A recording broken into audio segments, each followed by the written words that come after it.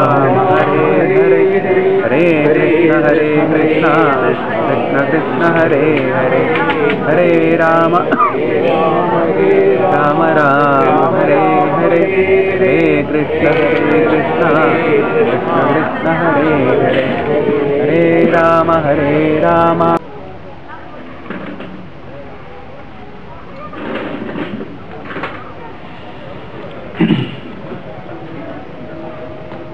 ശരണയ്യപ്പ ശരണമയ്യപ്പ ശരണമയ്യപ്പ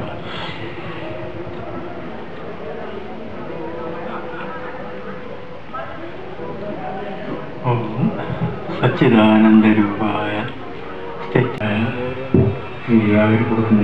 ശ്രീ ഗോപാലനാരായണൻ നമസ്കാരം. അധ്യക്ഷനായ ശ്രീ വിജയകുമാറിന് നമസ്കാരം. പൂജാരി ശ്രീ യദുനന്ദന് നമസ്കാരം. സപ്താഹ യജ്ഞം ഇവിടെ ആരംഭിക്കുകയാണ് അതിന്റെ മലയാളമായിട്ട് വിളക്ക് കൊളുത്തി കഴിഞ്ഞു അതിന്റെ ഒരു ഉദ്ഘാടന പ്രഭാഷണം സപ്താഹത്തിന്റെ ഒരു ഘടകമൊന്നുമല്ല. എങ്കിലും അത് വേണമെന്ന് എന്റെ സംഘാടകർ ആഗ്രഹിച്ചിരുന്നു. എന്നോട് ആവശ്യപ്പെട്ടിരുന്നു. വളരെ സന്തോഷമായി ഞാനിതിന് സമ്മതിക്കുകയും ചെയ്തതാണ്. അതിന്റെ കുറച്ച് നേരം ഏതാനും മിനിറ്റുകൾ മാത്രം ഒരു പത്ത് പതിനഞ്ച് മിനിറ്റ് മാത്രം ചെയ്ത് പറഞ്ഞിട്ട് സപ്താഹ കുറിച്ചുള്ള പ്രഭാഷണത്തിനും ആത്മീയ പാരായണത്തിനുമായി ഞാൻ അരങ്ങൊഴിയുന്നതാണ്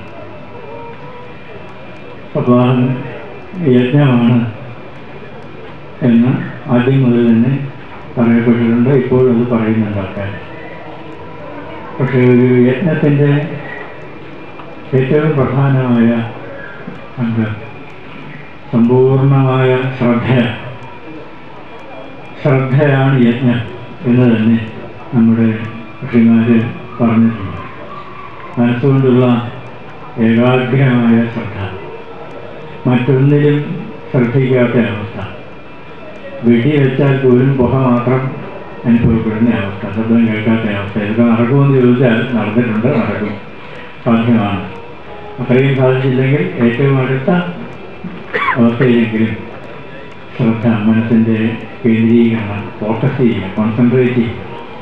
ആ സുപ്രീം കോൺസെൻട്രേഷൻ പരമമായ ഏകാഗ്രത ആണ് യജ്ഞത്തിന് ഒന്നാമതായിട്ട് ആവശ്യം.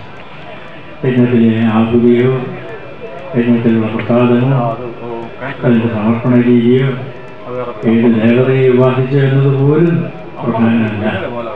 യജ്ഞത്തിൽ ഈ ഏകാഗ്രതയാണ് ശ്രദ്ധയാണ്.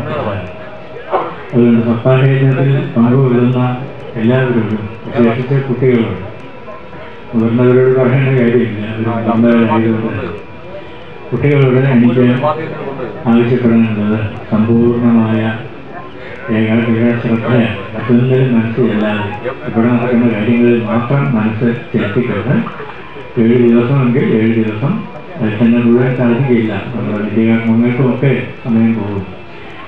എങ്കിലും ആകുന്നത്ര സമയം അതിനുവേണ്ടി ഏകാഗ്രമായി ചെലവഴിക്കുക. വേളകളിൽ നാരായണീയെ പാലിക്കാനുള്ള ഒരു നിർദ്ദേശം ഉണ്ടായിട്ടുണ്ട്. എന്നാണ് നടപ്പാകുമെന്നാണ് എന്റെ പ്രതീക്ഷ. മേൽപ്പത്തൂര് പറയുന്നുണ്ട്. നമുക്ക് സാധനം ചീത്തയാണെന്ന് പറഞ്ഞ് ഭർത്താവിനെ വഴക്ക് പറയാം എങ്ങനെയായാലും ഭയങ്ങളാണ്. മറ്റുള്ളവരെക്കുറിച്ച് പേടി പ്രപഞ്ചത്തെക്കുറിച്ച് പേടി അപകടങ്ങളെക്കുറിച്ച് പേടി മരണഭയം മരണത്തെക്കുറിച്ച് പേടി പേടിച്ചിട്ട് ഒരു കാര്യവുമില്ലെന്ന് അറിയാവുന്ന കാര്യങ്ങളെക്കുറിച്ചും പേടിയാണ് ഇപ്പോൾ ഉള്ളത്. എന്താ ഈ പേടി ഉണ്ടാകുന്നത്? ഭീതർനാമ ദ്വിതീയാൽ ഭവതി. ഭാഗവതത്തിന്റെ സാരാംശമായിട്ട് മേൽപ്പത്തൂർ പറഞ്ഞു തരുന്ന രണ്ടാമത് ഒന്നുള്ളപ്പോഴാണ് പേടി ഉണ്ടാകുന്നത് ഞാൻ സൈക്കിളിനെ പേടിക്കുന്നത് എന്തുകൊണ്ടാണ്? സൈക്കിൾ വേറൊന്നായതുകൊണ്ടാണ്. എന്റെ കയ്യെ എനിക്ക് പേടിയുണ്ടോ? പേടിയില്ല. എന്റെ കയ്യെ ഞാൻ അറിയാതെ എന്നെ അടിക്കും എന്ന് പേടിയുണ്ടോ? പേടിയില്ല. കാരണം എന്താണ്? ഞാൻ തന്നെയാണ് കയ്യെ എന്റെ കാൽ എന്നെ താഴത്തിടും എന്ന് പേടിയുണ്ടോ? ഇല്ല. കാരണം എന്താണ്? എന്റെ കാൽ ഞാൻ തന്നെയാണ്.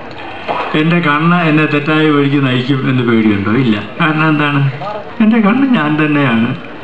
ഞാൻ തന്നെ ആയില്ല. ഈ കണ്ണിനെക്കുറിച്ച് പേടിയില്ല മൂക്കിനെക്കുറിച്ച് പേടിയില്ല കയ്യെക്കുറിച്ച് പേടിയില്ല എന്റെ ചിന്തകളെക്കുറിച്ച് എനിക്ക് പേടിയില്ല. കാരണം ചിന്തകൾ ഞാൻ തന്നെയാണ്. എന്റെ വികാരങ്ങളെക്കുറിച്ച് പേടിയില്ല.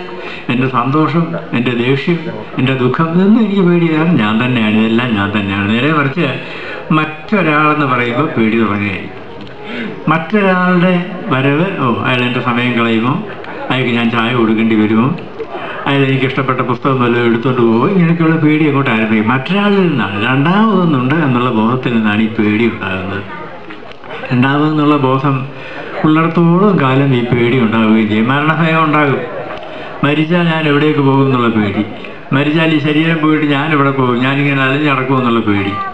ഈ പോകുന്നതും വരുന്നതും മരിക്കുന്നതും ജനിക്കുന്നതും ഞാനല്ലാതെ മറ്റൊന്നില്ല എന്ന ബോധം എല്ലാവരും ഇങ്ങനെയാണ്. തെറ്റ് ചെയ്യാത്തവരായിട്ട് ലോകത്തിൽ ആരുമില്ല. തെറ്റ് ചെയ്യാത്തവരായിട്ട് ലോകത്തിൽ ആരും ഉണ്ടായിട്ടില്ല. അങ്ങനെയാണെങ്കിൽ ലോകത്തിന്റെ ആവശ്യമില്ല. ഈ ലോകം നിലനിൽക്കുന്നത് തന്നെ സത്വരജസ്തമോ ഗുണങ്ങൾ കൊണ്ടാണെന്നാണല്ലോ പണ്ഡിതന്മാർ പറയുന്നത്. സാത്വിക ഗുണം രാജസ ഗുണം പിന്നെ താമസം.